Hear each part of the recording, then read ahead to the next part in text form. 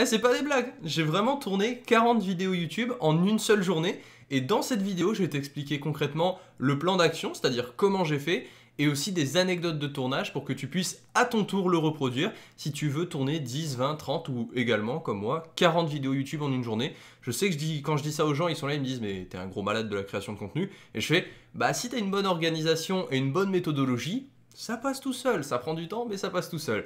Si tu me connais pas, je m'appelle Lucas Brasier et j'aide les étudiants à réussir sur YouTube sans sacrifier leurs études. Donc si tu peux rejoindre des milliers de youtubeurs étudiants, abonne-toi à la chaîne. On attaque tout de suite. Comment j'ai pu tourner 40 vidéos en une journée Donc pour contextualiser déjà, ça s'est passé au week-end de la Pentecôte en 2019, donc quand j'étais en prépa scientifique. Euh, je, je m'étais lancé en 2019 le challenge de tourner une vidéo par jour, enfin de publier une vidéo par jour pendant un an. Là, je me suis dit, euh, week-end de la Pentecôte, c'était vers mai-juin.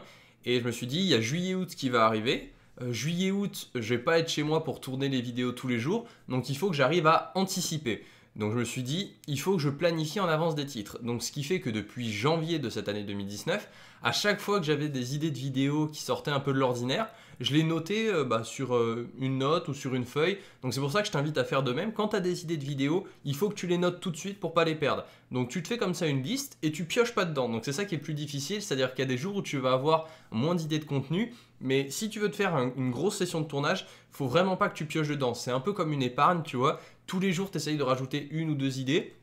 Et quand tu as ton épargne qui est aussi grosse que ce que tu voulais, c'est-à-dire par exemple que tu voulais tourner 10 vidéos d'un coup, 20 vidéos, 30 vidéos, 40 vidéos, là tu te dis ok, on prend une grande respiration et on va le faire. Et comment on va le faire Tout simplement, j'avais une feuille où j'avais mes 50, parce qu'en réalité j'ai tourné 50 vidéos en deux jours, 40, 40 vidéos le premier jour, 10 vidéos le deuxième jour, et euh, dans le deuxième jour, j'ai également fait les 50 miniatures et la planification des vidéos. Donc ce qui fait qu'en 48 heures, je suis passé de j'avais 50 titres à j'avais 50 vidéos publiées, enfin planifiées pour tout juillet-août. Donc euh, voilà, mon objectif c'était vraiment de me, pas de m'en débarrasser, mais de faire une grosse session de tournage qui me permette euh, en 48 heures de, faire l'équivalent de deux mois de contenu. Donc tu te mets tes 50 titres, enfin tu te mets tes X titres que tu veux tourner, tu essayes de te faire comme ça un petit peu les arguments principaux que tu voudrais dire. C'est pour ça que j'invite vraiment les gens à faire des vidéos comme je suis actuellement, tu vois, sans montage. J'aurais pas pu tourner 40 vidéos avec du montage où euh, je, bafouille et je veux tout supprimer. Tu vois, parfois je fais des erreurs dans ce que je dis, je me reprends, mais je t'invite vraiment à faire des vidéos sans montage, c'est ce qui te permettra de progresser à l'oral en improvisation et qui te permettra également de publier du contenu très régulièrement et c'est la régularité qui prime sur YouTube. Donc... Euh, voilà, pour les 40 vidéos, j'avais le plan et je me suis dit, je vais les tourner une par une. Euh, au niveau euh, vestimentaire, je me souviens, pour là c'est vraiment dans l'aspect anecdote de tournage, euh, j'avais 6 Si tu regardes les vidéos en fait de tout l'été 2019, enfin les vidéos de l'été 2019, elles ont toutes à peu près le même style de miniature. Euh, on voit que c'est toujours le même angle, juste je changeais, euh, j'avais 6 ou 7 t-shirts, et en fait à chaque vidéo je changeais de t-shirt pour éviter que les gens se disent Ah, pendant deux mois il a mis euh, le même t-shirt, enfin il le lave pas ou il garde que celui-là, tu vois, pour renvoyer une mauvaise image. Là maintenant c'est un pull que j'ai spécialement pour les vidéos YouTube, donc c'est identifiable, mais quand tu es en habit quotidien, entre guillemets, les gens ils peuvent être là et se dire tu vois, ils, gardent toujours les, mêmes affaires. Donc vraiment, j'avais 6 ou 7 t-shirts empilés juste à côté de ma caméra. je regardais le titre, j'appuyais sur lancer et là, tu dis tout ce que tu as à dire sur le sujet. Donc, par exemple, euh, je sais pas, euh, comment euh, réviser les maths, comment réviser les mathématiques. Je sais pas, il y a peut-être ce sujet. j'ai fait une vidéo là-dessus, je, lance, je dis tout ce que j'ai à dire, je coupe, ok, je changeais de t-shirt, je prenais le deuxième titre et j'ai enchaîné. Je me souviens que je pense, ça m'a pris peut-être une journée complète, ça, vraiment, genre un truc du style 9h-18h avec une pause express pour manger. Mais j'étais vraiment, tu vois, il faut que tu arrives à trouver des moments un peu tu vois, deep focus, où tu es vraiment à fond, euh, à fond dedans et tu te dis, ok, je me mets un objectif qui est là et je vais tout faire pour atteindre cet objectif-là. Je vais, je vais donner euh, toute mon énergie, tout mon temps. À la fin du week-end, j'étais lessivé, hein, je te le cache pas. Mais euh, le, le samedi, du coup, 40 vidéos ont été tournées. Le dimanche, 10 vidéos. Et après, pour les miniatures. D'ailleurs, si tu veux que je viens penser, si tu veux que je te donne le logiciel que j'ai utilisé pour faire ces 50 miniatures, euh, tu peux laisser un like et si je vois que vous êtes beaucoup, bah, je vous montrerai le logiciel et je vous ferai peut-être un petit tuto dessus et n'hésitez pas à me le dire également dans l'espace commentaire. Donc voilà, pour l'organisation, euh, si tu veux faire une grosse session de tournage, ce que je te conseille c'est prendre une feuille ou une note où tu vas marquer juste le titre de la vidéo pour pas que tu l'oublies et pour te faire comme ça une liste de titres de vidéos. tu ne pioches pas dedans pour tes contenus que tu veux publier, on va dire, à court terme.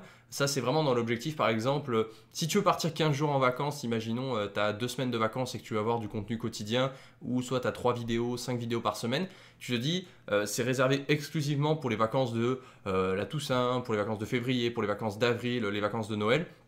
Et dès que cette liste elle est pleine et que tu es content des titres que tu as mis, euh, tu te bloques le temps qu'il faut, une demi-journée ou une journée, et tant que tu n'as pas terminé ce que tu fais, tu ne changes pas d'activité. Téléphone, euh, tu désactives toutes les notifications, euh, tu sors pas de chez toi, tu te fais pas inviter à aller boire un coup, etc. C'est vraiment, tu restes chez toi en mode bunker, euh, tryhard, etc. Et tu, publies, tu tournes ces vidéos et tu les publies. Pour te donner mon ressenti a posteriori de cette expérience, comme j'étais vraiment dans l'optique d'une vidéo par jour pendant 365 jours, quand je suis arrivé le dimanche soir vers, euh, je sais plus, je, finis tard, enfin je regardais un film à la fin en même temps que je, faisais les miniatures, parce que ça, ça, ça prend pas forcément énormément de concentration. Mais je peux te dire que quand j'ai vu les 50 vidéos qui étaient planifiées jusqu'au 29 euh, ou 30 août, etc., enfin du lundi au vendredi, tous les jours, j'étais là, j'ai fait, euh, quand même, je me suis, j'ai, enfin tu vois, c'était vraiment le soulagement entre guillemets parce que c'était fait et vraiment, je, juillet-août, je n'ai publié aucun contenu de mémoire, ou peut-être une vidéo ou deux maximum. Mais vraiment, c'est. Tu vois les vidéos, en fait, c'est un peu comme euh, l'idée euh, de quelque chose de passif, c'est-à-dire tu as fourni l'effort une fois, et les vidéos, derrière, bah, elles se sont publiées toutes seules tous les jours. Donc euh, les gens n'ont pas vu la différence, ou peut-être ils ont compris que j'avais planifié à l'avance vu que j'étais en vacances. Mais euh, la chaîne, elle a pris, euh, je sais plus combien de centaines, pour pas dire euh, au moins un millier d'abonnés sur l'été. Enfin, peut-être plusieurs centaines sur le mois de juillet et plusieurs centaines sur le mois d'août, alors que c'était un effort fourni sur 48 heures. Donc c'est pour ça que je t'invite vraiment je me répète, mais c'est parce que j'en vois tellement qui mettent des, dizaines d'heures de montage sur du contenu. Il faut que tu commences par faire des vidéos où tu fais pas de montage. Et quand tu fais pas de montage, que tu es à l'aise à l'oral, t'en publies beaucoup, beaucoup, beaucoup, beaucoup. Et comme ça, quand tu deviens vraiment quelqu'un de ta thématique qui a fait, je sais pas, 100, 200, 300, 500 vidéos et que tu as réuni une communauté de plusieurs milliers d'abonnés, là, si tu veux, commence à faire du montage. Mais vraiment, privilégie dans un premier temps la quantité de contenu de qualité dans ce que tu dis plutôt que la qualité visuelle avec une quantité restreinte. Voilà, c'était la petite citation de fin. En attendant, si tu veux rejoindre la missive YouTube, je t'invite à cliquer sur le premier lien en description.